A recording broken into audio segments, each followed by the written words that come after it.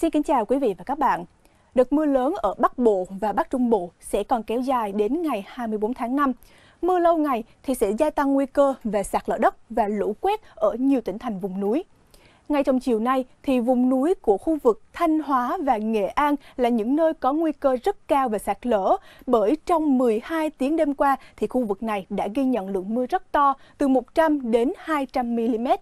Tuy lượng mưa vào chiều và đêm nay ở khu vực này sẽ không lớn bằng đêm qua, dự báo là từ 10 đến 40 mm, có nơi trên 50 mm, nhưng đất đá đang bở nhão nên nguy cơ sạt lở vẫn rất lớn. Ngoài hai tỉnh thành này thì khu vực Tây Bắc Bộ cùng với Hà Giang, Tuyên Quang, Phú Thọ, Cao Bằng, Bắc Cạn, Lạng Sơn và Hà Tĩnh cũng có nguy cơ xảy ra lũ quét và sạt lở đất. Vì trong chiều và đêm nay trời lại có mưa lớn, cục bộ có những nơi mưa to trên 80mm tương ứng với những vùng màu xanh lá cây như thế này. Đối với các khu vực còn lại, từ Quảng Bình xuống đến Bình Thuận cùng với Tây Nguyên và Nam Bộ, trong chiều và tối nay cũng có mưa dông, một vài nơi mưa to trên 80mm.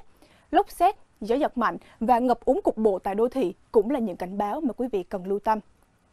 Trên biển, hai huyện đảo là Hoàng Sa và Trường Sa về chiều tối nay tiếp tục cảnh báo mưa dông, nguy cơ về lốc xoáy và gió giật mạnh đi kèm.